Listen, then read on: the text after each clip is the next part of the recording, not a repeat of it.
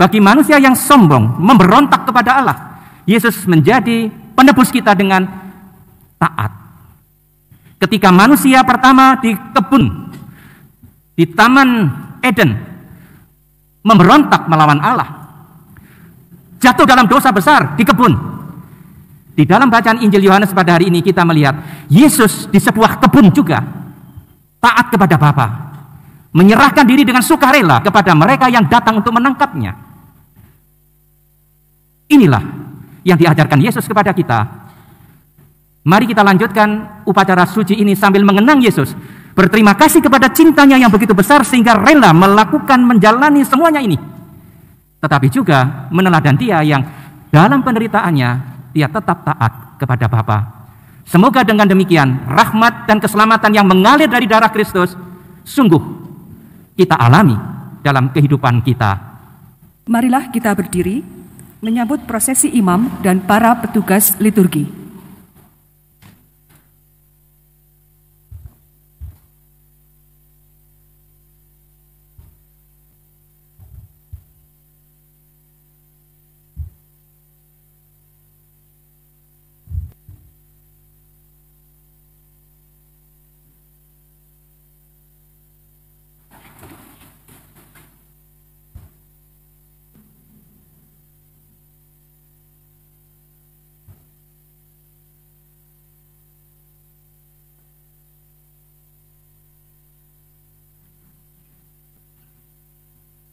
Marilah berdoa.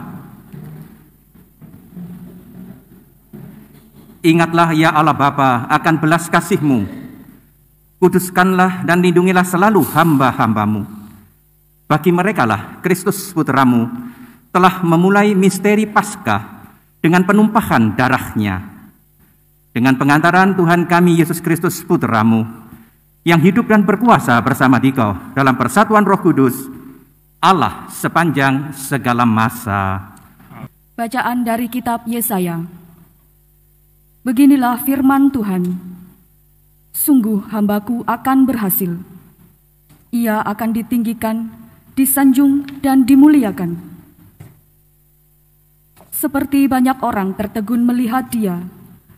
Rupanya begitu buruk, tidak seperti manusia lagi dan tampaknya tidak seperti anak manusia lagi.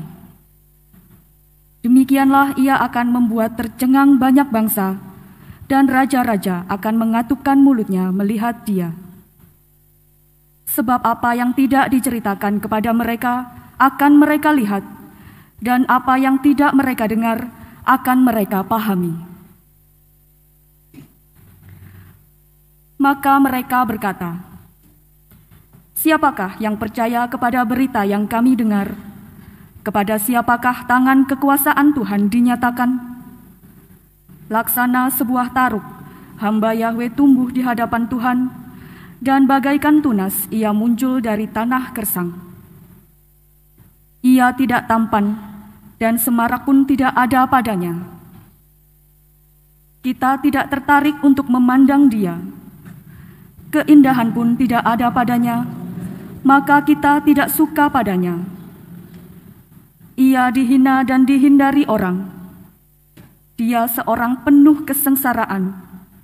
Dia seorang yang tahu apa artinya menderita kesakitan.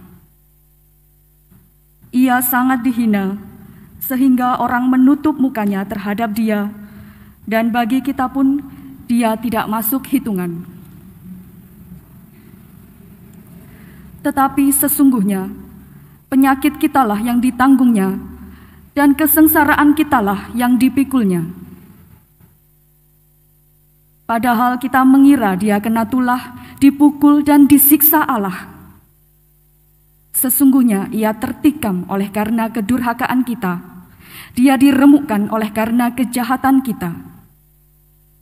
Derita yang mendatangkan keselamatan bagi kita ditimpakan kepadanya dan oleh bilur-bilurnya kita menjadi sembuh.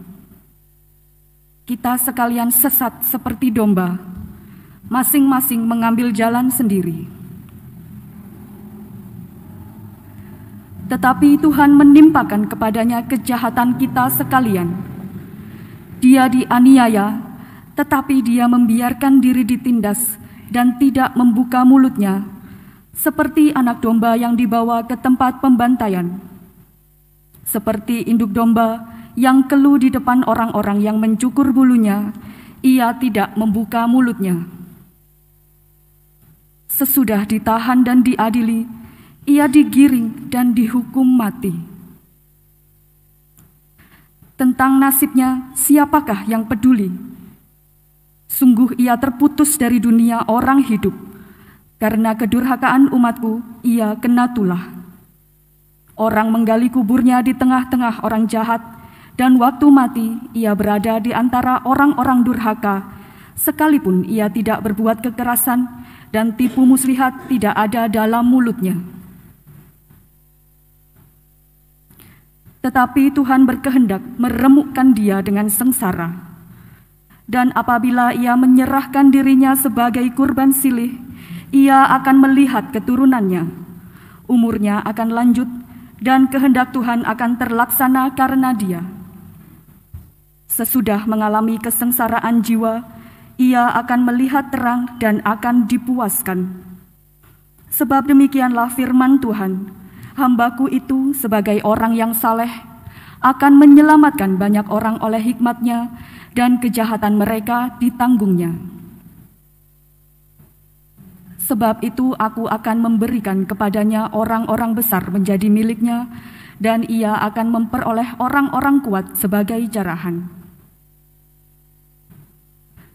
Ini semua sebagai ganti, karena ia telah menyerahkan nyawanya kepada maut dan telah rela terhitung di antara kalangan kaum durhaka padahal dia menanggung dosa orang banyak dan berdoa untuk orang-orang jahat. Demikianlah sabda Tuhan. Syukur kepada Allah.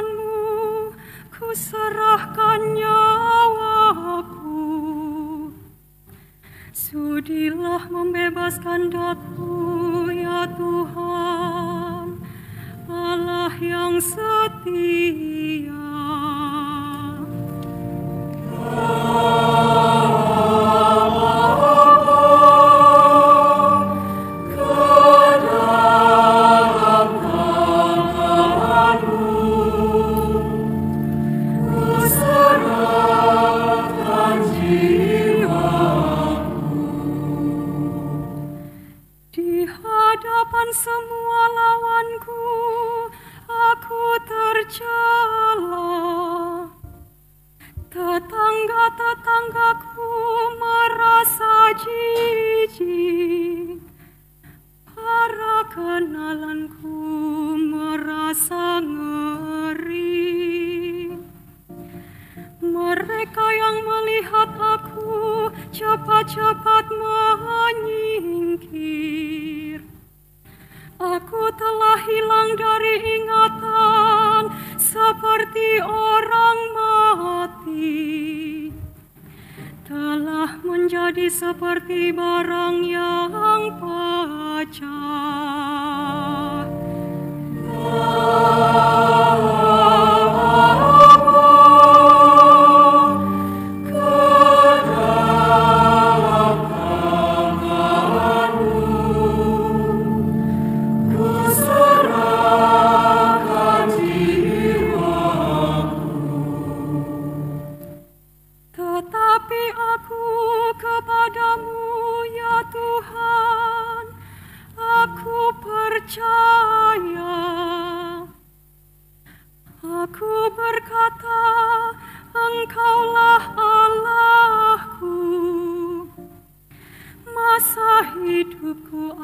Dalam tanganmu. Lepaskanlah aku dari tangan musuh-musuhku dan bebaskan dari orang-orang yang mengejarku.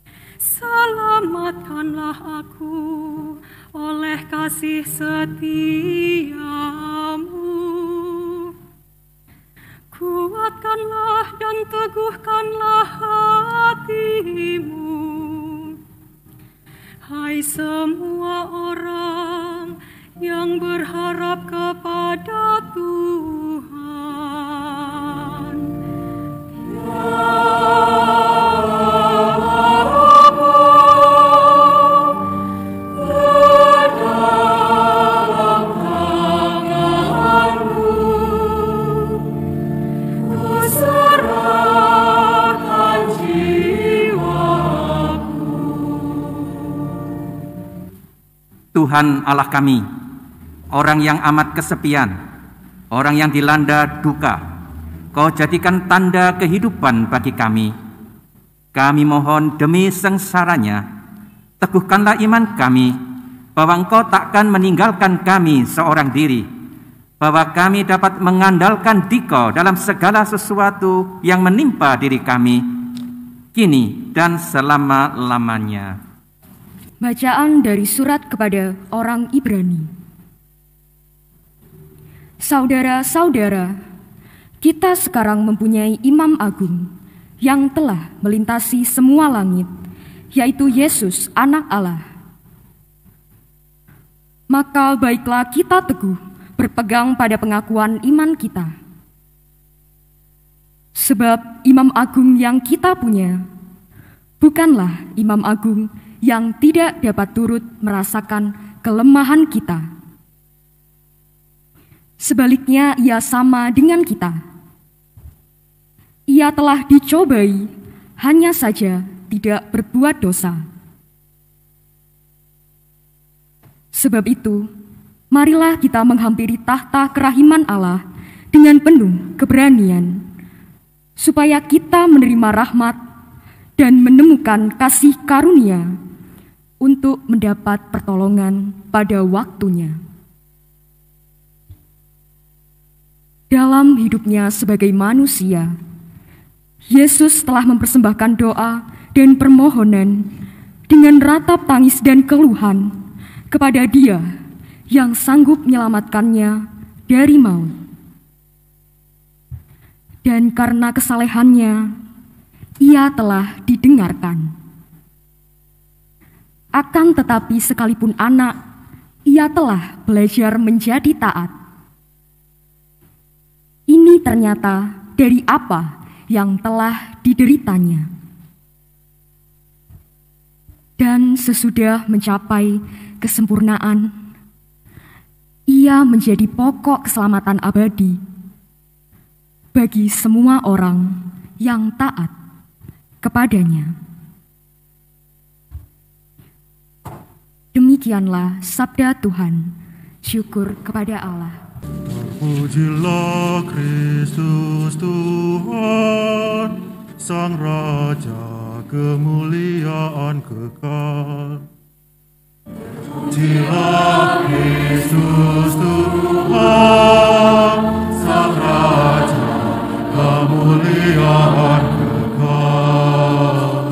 Kristus sudah taat bagi kita, Ia taat sampai mati, bahkan sampai mati di salib. Itulah sebabnya Allah sangat meninggikan dia dan menganugerahinya nama di atas segala nama. Terpujilah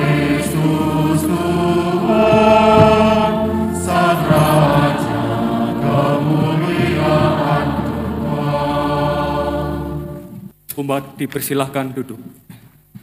Inilah kisah sengsara Tuhan kita Yesus Kristus menurut Yohanes.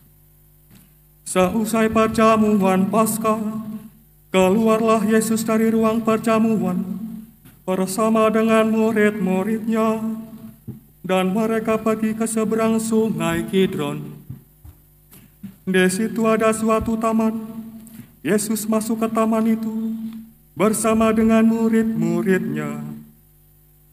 Yudas yang mengkhianati Yesus tahu juga tempat itu karena Yesus sering berkumpul di situ dengan murid-muridnya.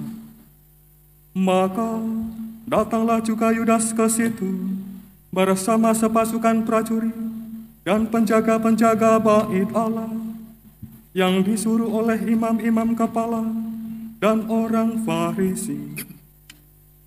Mereka datang lengkap dengan lentera, suluk dan senjata. Yesus tahu semua yang menimpa dirinya, maka ia maju ke depan dan berkata kepada mereka, Siapakah yang kamu cari?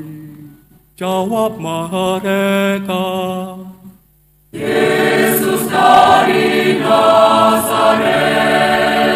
Kata Yesus kepada mereka, Akulah dia. Yudas yang mengkhianati Yesus berdiri juga di situ bersama-sama mereka. Ketika Yesus berkata kepada mereka, Akulah dia, mundurlah mereka dan jatuh ke tanah. Maka Yesus bertanya pula, Siapakah yang kamu cari? Jawab mereka, Yesus dari Nazaret. Jawab Yesus, Telah kukatakan kepadamu, Akulah dia. Jika aku yang kamu cari, biarkanlah mereka ini pergi. demikianlah terjadi, supaya genaplah firman yang telah dikatakannya. Dari mereka yang kau serahkan kepadaku, tidak seorang pun yang kubiarkan hilang. Lalu Simon Petrus yang membawa pedang, menghunus pedang itu, dan meletakkannya kepada hamba imam agung, dan memutuskan telinga kanannya. Nama hamba itu Malkus. Kata Yesus kepada Petrus, Sarungkanlah pedangmu itu. Bukankah aku harus minum cawan yang diberikan Bapa kepadaku? Maka para prajurit serta perwiranya dan penjaga-penjaga yang disuruh orang Yahudi itu menangkap Yesus dan membelenggu dia. Lalu mereka membawa Yesus mula-mula kepada Hanas, karena Hanas adalah mertua Kayafas, yang pada tahun itu menjadi imam agung. Dan Kayafaslah yang telah menasihatkan kepada orang-orang Yahudi adalah lebih berguna jika satu orang mati untuk seluruh bangsa. Simon Petrus dan seorang murid lain mengikuti Yesus. Murid itu mengenal imam agung dan ia masuk ke halaman istana imam agung itu. Tetapi Petrus tinggal di luar dekat pintu. Maka murid lain tadi yang mengenal Imam Agung kembali keluar bercakap-cakap dengan perempuan penjaga pintu, lalu membawa Petrus masuk. Maka kata perempuan penjaga pintu itu kepada Petrus, Bukankah engkau juga murid orang itu? Jawab Petrus, Bukan. Sementara itu, hamba-hamba dan para penjaga bait Allah telah memasang api arang, sebab hawanya dingin waktu itu, dan mereka berdiri berdiam di situ. Petrus pun berdiri berdiam bersama-sama dengan mereka. Maka mulailah Imam Agung menanyai Yesus tentang para murid dan tentang ajarannya. Jawab Yesus kepadanya, Aku berbicara terus terang kepada dunia. Aku selalu mengajar di rumah-rumah ibadat dan di bait Allah, tempat semua orang Yahudi berkumpul. Aku tidak pernah berbicara sembunyi-sembunyi. Mengapa engkau menanyai aku? Tanyailah mereka yang telah mendengar apa yang kukatakan kepada mereka. Sungguh mereka tahu apa yang telah kukatakan. Ketika berkata demikian, seorang penjaga yang berdiri di situ menampar muka Yesus sambil berkata, Begitukah jawabmu kepada Imam Agung? Jawab Yesus kepadanya, Jikalau kataku itu salah, tunjukkanlah salahnya. Tetapi jikalau benar, mengapa engkau menampar aku? Lalu Hanas mengirim Yesus terbelenggu kepada Kayafas, Imam Agung. Simon Petrus berdiri berdiam. Kata orang-orang di situ kepadanya,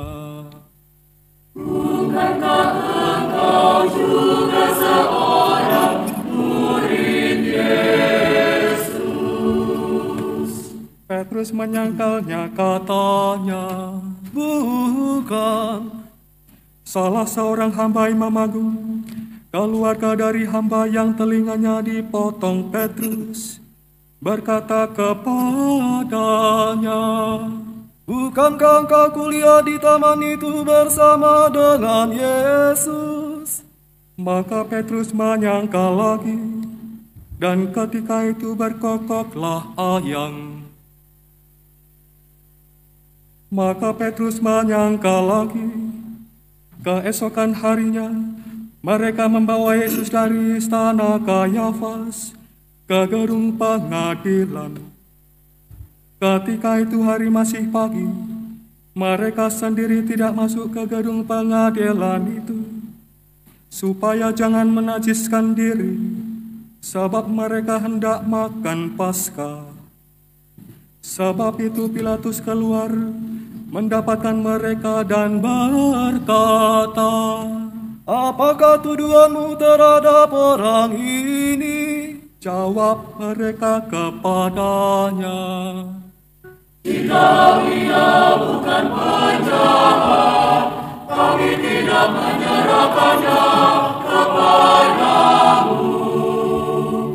Kata Pilatus kepada mereka, Ambillah dia dan hakimilah dia menurut hukum Tauratmu. kata orang-orang Yahudi itu.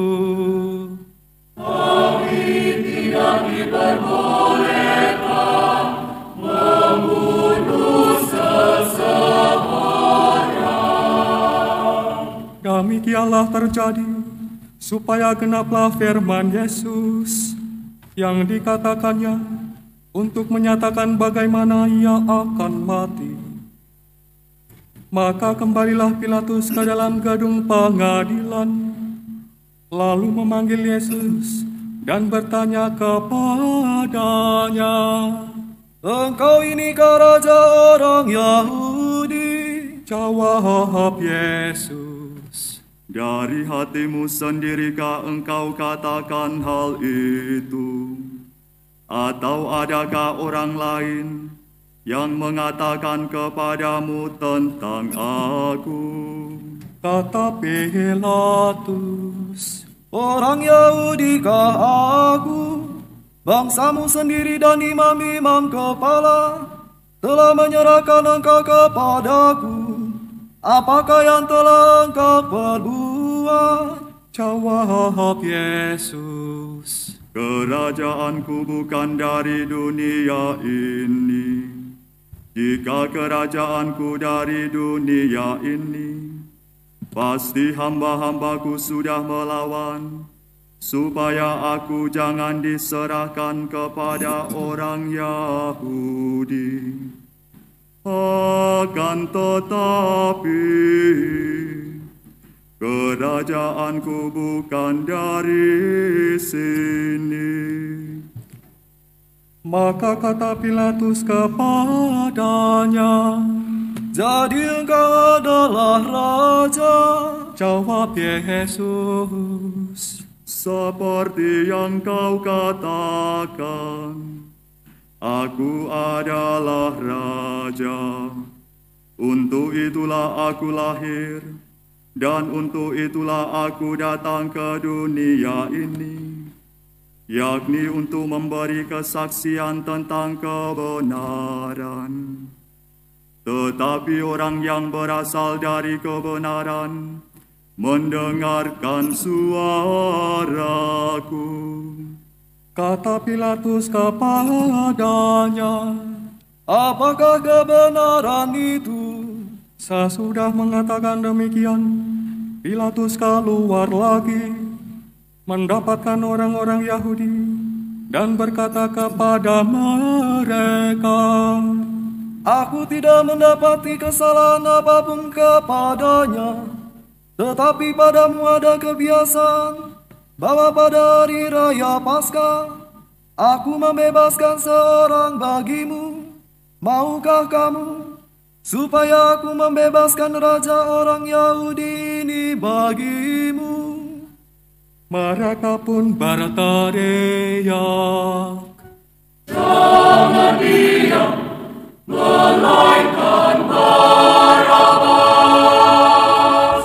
Barabas adalah seorang penyamun. Lalu Pilatus mengambil Yesus dan menyuruh orang menyesah dia. Prajurit-prajurit menganyam sebuah mahkota duri dan menaruhnya di atas kepala Yesus. Mereka mengenakan jubah ungu padanya dan sambil maju ke depan mereka berkata,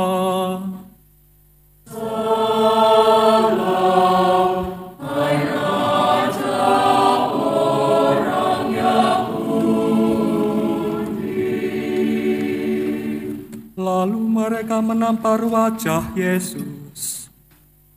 Pilatus keluar lagi dan berkata kepada orang-orang Yahudi, Lihatlah, aku membawa dia keluar kepada kamu, supaya kamu tahu bahwa aku tidak mendapati kesalahan apa pun padanya.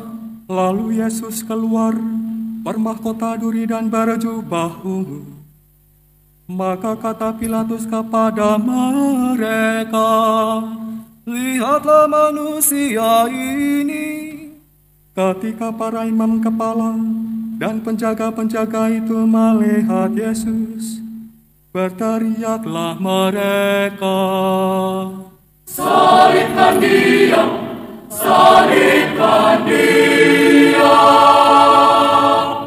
Kata Pilatus kepada mereka, Ambil saja sendiri dan salibkanlah dia, Sebab aku tidak mendapati kesalahan apa pun padanya. Jawab orang-orang Yahudi itu kepadanya. Kami mempunyai dan menurut hukum itu tidak harus mati.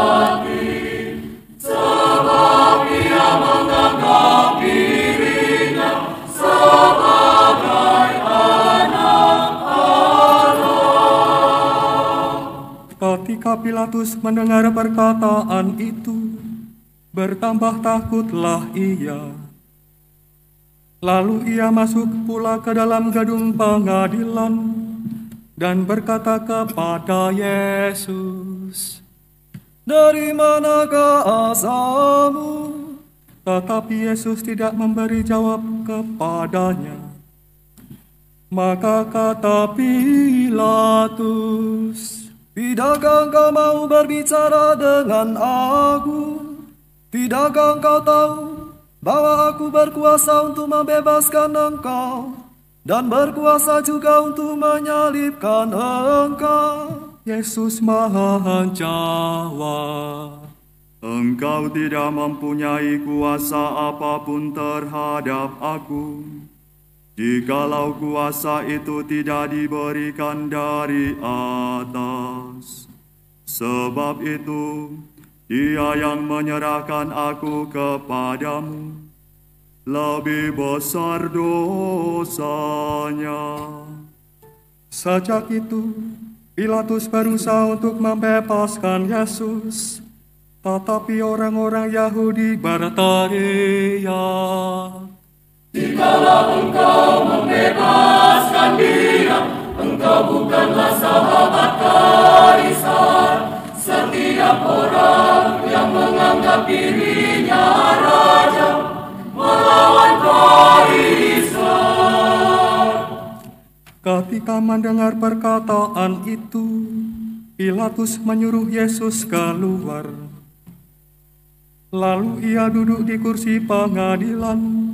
di tempat yang bernama Litostrotos dalam bahasa Ibrani Gabata. Hari itu ialah hari persiapan Paskah, kira-kira jam 12. Kata Pilatus kepada orang-orang Yahudi itu, Inilah rajamu. maka berteriaklah mereka.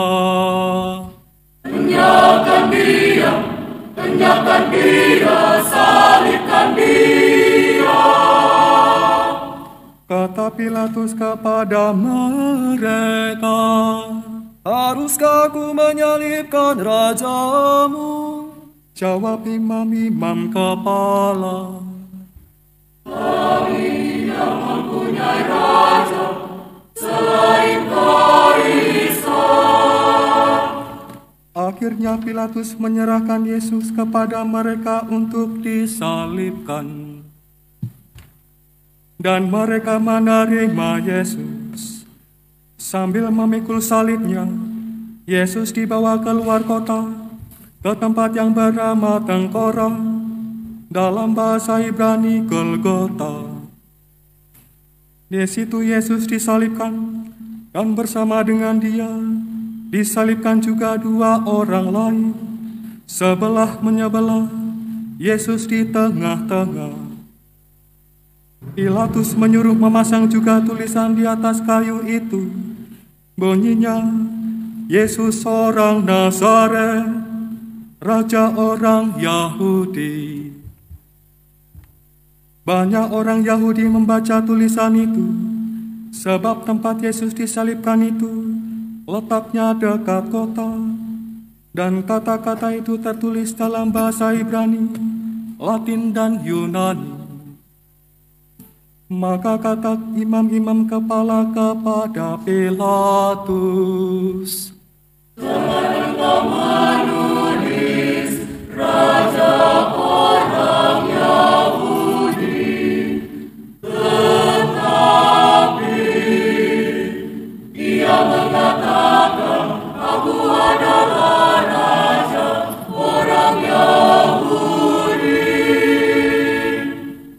Jawab Pilatus, Apa yang kutulis tetap tertulis. Setelah prajurit-prajurit menyalibkan Yesus, mereka mengambil pakaian Yesus, lalu membaginya menjadi empat bagian, masing-masing prajurit satu bagian. Jubah Yesus pun mereka ambil, tetapi jubah itu tidak berjahit dari atas sampai ke bawah merupakan satu tanunan utuh.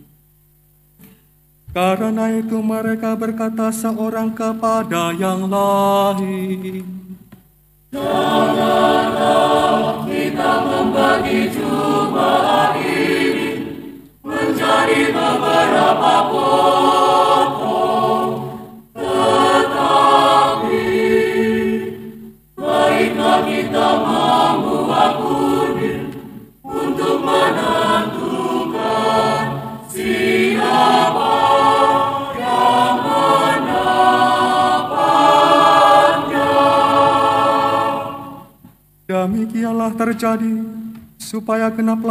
ada tertulis dalam kitab suci. Mereka membagi-bagi pakaianku di antara mereka, dan membuang di atas jubahku. Hal itu telah dilakukan oleh prajurit-prajurit itu. Di dekat salib Yesus, berdirilah ibu Yesus dan saudara ibunya, Maria istri Kleopas dan Maria Magdalena.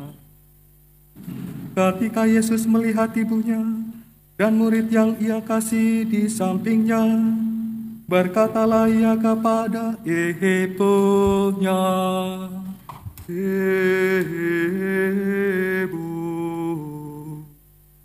inilah anakmu. dan kemudian katanya kepada murid itu, Inilah ibumu. Dan sejak saat itu, murid itu menerima Maria dalam rumahnya.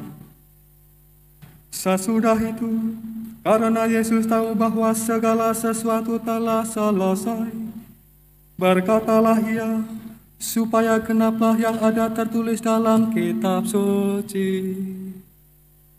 Aku haus. Di situ ada suatu buli-buli penuh anggur asam.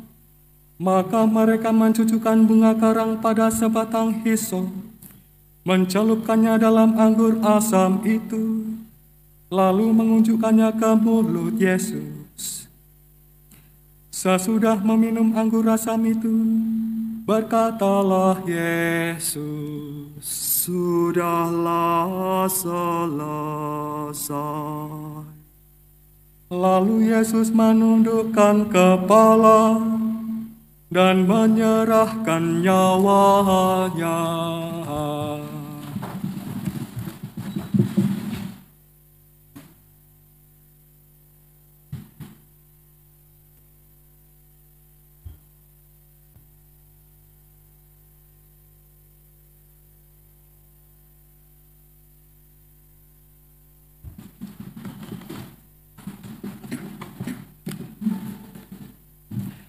Karena hari itu adalah hari persiapan Paskah, dan supaya pada hari Sabat mayat-mayat itu tidak tinggal tergantung pada kayu salib, sebab saat itu adalah hari yang besar.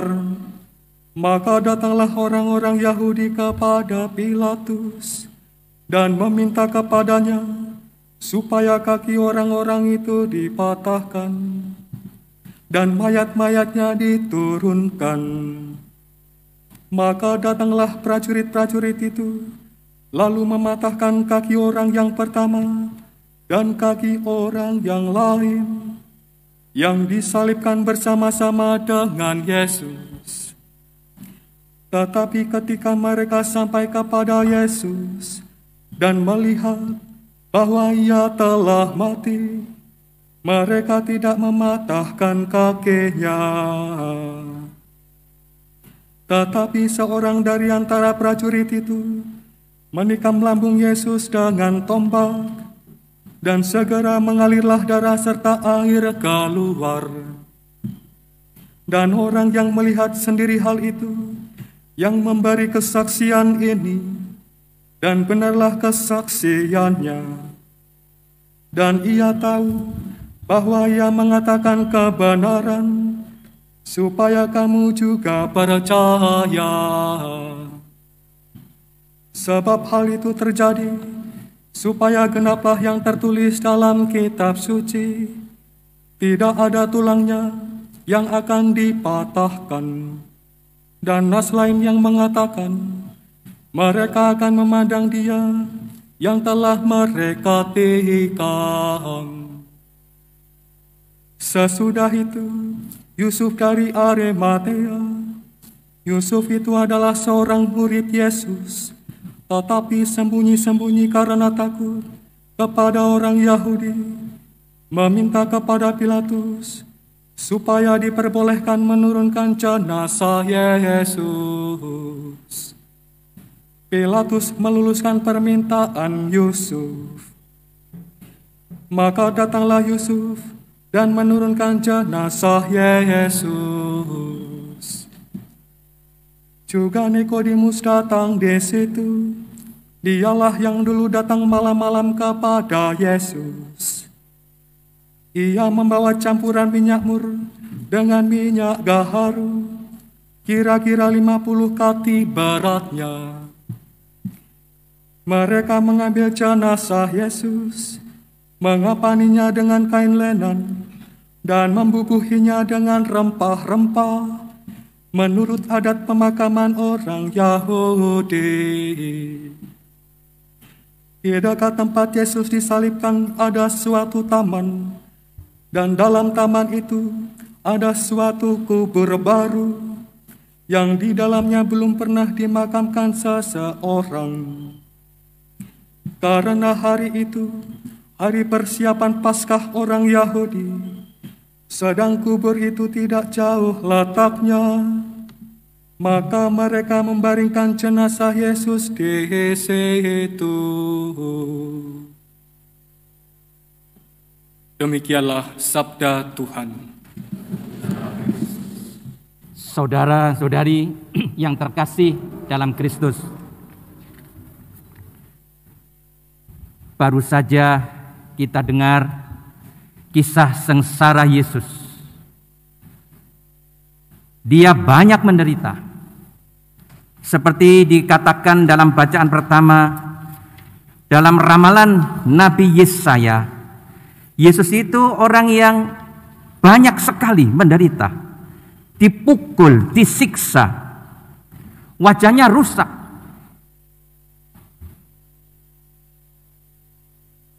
Mungkin kita bertanya, mengapa Tuhan membiarkan Yesus menderita? Mengapa Yesus mengalami nasib yang tragis? penuh dengan penderitaan dan siksaan. Kematiannya itu mengerikan. Untuk ukuran zaman itu, disalib adalah hukuman yang mengerikan. Tidak bisakah Allah memilih cara lain? Bisa. Allah bisa menyelamatkan manusia dengan firman-Nya saja. Bisa. Allah bisa mengutus putranya sebagai Mesias yang maha kuasa. Bisa. Tapi mengapa Allah mengutus anaknya untuk menjadi seorang Mesias yang penuh penderitaan seperti ini? Dalam permenungan saya, paling tidak ada dua jawaban ini. Semakin kita merasa ngeri mendengarkan kisah kesengsaraan Yesus. Semakin kita melihat betapa kejamnya perlakuan orang-orang Romawi dan Yahudi kepada Yesus. Semakin besar juga rasa cinta kita kepada Yesus karena dia rela menanggung semua itu untuk kita. Seakan-akan melalui penderitaan dan kengerian yang dialami Yesus itu, Allah Bapa mau berkata kepada kita, ini saja kulakukan. Bahkan ini kulakukan untuk kamu. Bahkan anakku kubiarkan menderita seperti itu untuk kamu. Maka seperti kata Santo Paulus, Allah tidak menyayangkan anaknya. Bahkan penderitaan dan kengerian seperti ini dibiarkan Allah menimpa anaknya. Sekali lagi tujuannya untuk mengatakan, karena aku sangat mencintai kamu, maka bahkan semuanya yang menimpa putraku ini kubiarkan. Seakan-akan Allah Bapa mau mengatakan kepada kita, kalau ini semua tidak meyakinkan kamu bahwa aku mencintai kamu, apalagi yang bisa kulakukan? Maka sengsara Yesus setiap tahun seharusnya membuat kita semakin menghargai cinta Allah yang begitu besar sampai membiarkan Yesus menderita sedemikian hebat untuk kita. Alasan kedua yang saya renungkan, Yesus menebus kita dari dosa, menyelamatkan kita, karena Dia mau memberikan teladan bagi kita, orang berdosa Cara yang ditempuh Yesus merupakan teladan bagi kita. Seperti kata surat Santo Petrus, Yesus menderita untuk menjadi teladan bagi kita. Para saudara, teladan apa? Kalau kita pikir manusia itu punya sifat utama sombong. Sombong adalah dosa terbesar Sombong adalah dosa yang membuat manusia pertama jatuh dalam dosa karena mereka ingin menyamai penciptanya. Karena kesombongan itulah manusia jatuh dalam dosa besar. Tetapi Yesus memberi kita teladan. Meskipun dia anak Allah, dia telah rela menjadi manusia hina dan taat sampai mati dalam bacaan kedua tadi, dalam surat kepada orang Ibrani dikatakan, sekalipun ia anak Allah, ia telah belajar menjadi taat. Dan itu ternyata dari apa yang telah dideritanya. Penderitaan Yesus yang demikian hebat tidak membuat dia berontak seperti kebiasaan kita. Kalau kita menderita, memberontak, marah kepada Allah, protes kepada Allah, mempersoalkan cinta Allah. Bahkan yang lebih parah lagi, di mana Allah? Apa ada Allah kalau semua ini terjadi? Manusia sering berontak di dalam penderitaan. Tetapi Yesus mengajar kita, bahkan di dalam penderitaannya, dia tetap taat dan percaya kepada Allah. Sifat manusia yang sombong itu membuat dia sering meninggikan diri. Tetapi Yesus merendahkan diri menjadi seorang hamba dan taat bahkan taat sampai mati bahkan sampai mati di kayu salib. Kata Santo Paulus kepada orang-orang di Filipi. Inilah teladan yang diberikan Yesus bagi manusia yang sombong memberontak kepada Allah Yesus menjadi penebus kita dengan taat ketika manusia pertama di kebun di Taman Eden memberontak melawan Allah. Jatuh dalam dosa besar di kebun. Di dalam bacaan Injil Yohanes pada hari ini kita melihat Yesus di sebuah kebun juga taat kepada Bapa. Menyerahkan diri dengan sukarela kepada mereka yang datang untuk menangkapnya. Inilah yang diajarkan Yesus kepada kita Mari kita lanjutkan upacara suci ini sambil mengenang Yesus. Berterima kasih kepada cintanya yang begitu besar sehingga rela melakukan menjalani semuanya ini. Tetapi juga meneladan dia yang dalam penderitaannya dia tetap taat kepada Bapa. Semoga dengan demikian rahmat dan keselamatan yang mengalir dari darah Kristus sungguh kita alami dalam kehidupan kita. Amin. Kita memasuki bagian doa umat meriah. Kita berdoa bagi kesatuan umat Kristen. Marilah berdoa bagi semua saudara yang mengimani Kristus. Semoga Allah Tuhan kita berkenan menghimpun mereka yang dengan setia dan jujur berpegang teguh pada kebenaran dalam gerejanya. Allah Bapa yang kekal dan kuasa, Engkau menghimpun mereka yang tercerai-berai serta memelihara mereka yang telah bersatu dalam gerejamu. Pandanglah kawanan domba putramu, Semoga semua saudara kami yang kau kuduskan berkat pembaptisan, kau persatukan pula dalam iman dan cinta kasih. Demi Kristus Tuhan dan pengantara kami.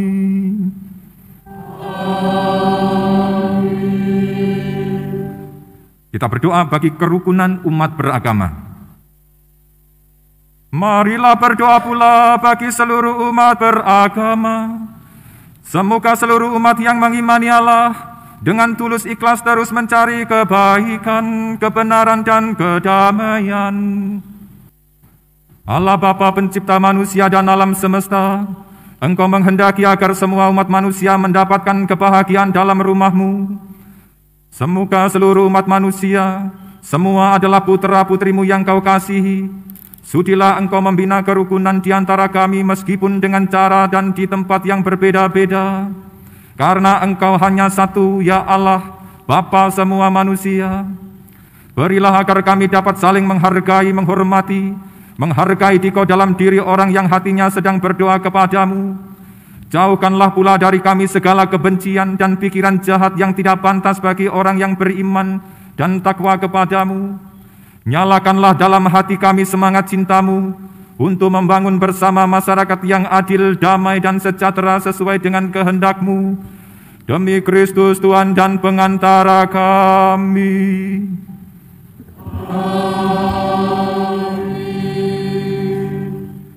Kita berdoa untuk orang-orang yang tidak percaya akan Kristus. Marilah kita berdoa pula untuk mereka yang tidak percaya akan Kristus, supaya berkat terang Roh Kudus mereka juga dapat menemukan jalan keselamatan. Allah yang Maha Kuasa dan Kekal, Bantulah mereka yang tidak mengakui Kristus agar dengan hidup jujur di hadapanmu, mereka pun menemukan kebenaran. Bantulah kami agar dengan semakin saling mengasihi dan semakin berhasrat memahami misteri kehidupanmu, kami menjadi saksi cintamu yang lebih sempurna di dunia dengan pengantaran Kristus Tuhan kami.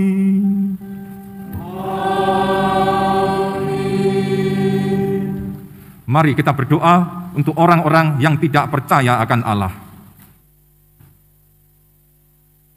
Marilah kita berdoa pula untuk mereka yang tidak mengenal Allah, supaya mereka dengan tulus hati mencari kebenaran, layak menemukan Allah sendiri. Allah yang Maha Kuasa dan Kekal, Engkau telah menciptakan umat manusia sedemikian sehingga engkau sehingga selalu berhasrat mencari engkau dan baru merasa tenang ketika menemukan dikau. Maka kami mohon bantulah agar mereka semua dengan mengatasi hambatan seberat apa pun mampu melihat tanda kasih sayangmu dan tergerak oleh kesaksian hidup orang-orang yang percaya kepadamu mereka dengan sukacita mengakui engkau sebagai satu-satunya Allah yang benar dan Bapa umat manusia. Dengan pengantaran Kristus Tuhan kami.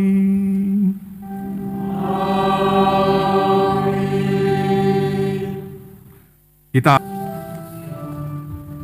Lihatlah kayu salib di sini tergantung Kristus penyelamat dunia. Mari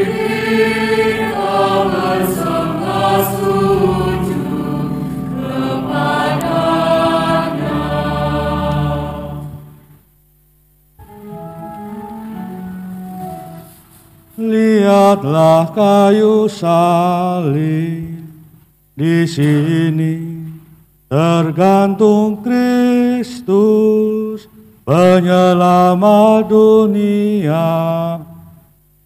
Mari kita bersama sujud kepadanya.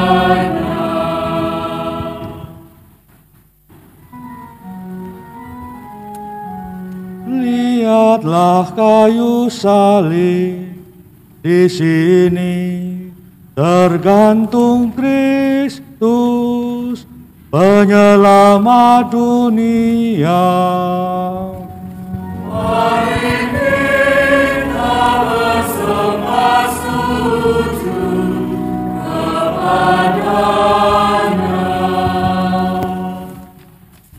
Marilah berdoa.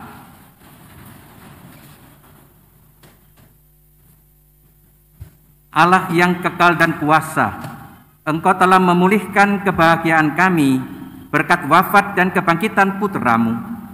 Peliharalah karya belas kasihmu dalam diri kami, agar kami yang telah ambil bagian dalam misteri ini dapat hidup penuh bakti kepadamu. Demi Kristus, Tuhan dan pengantara kami. Kami mohon ya Tuhan, semoga turunlah berkat berlimpah ke atas umatmu ini, yang telah mengenangkan wafat putramu sambil mengharapkan kebangkitannya. Berikanlah pengampunan kepada mereka, anugerahkanlah penghiburan, tumbuhkanlah iman yang kudus, berikanlah jaminan penebusan yang kekal, demi Kristus Tuhan kami. Tuhan bersamamu. Semoga Allah yang Maha Kuasa memberkati saudara, Bapa dan Putra dan Roh Kudus. Saudara sekalian, dengan demikian upacara mengenang wafat Yesus sudah selesai.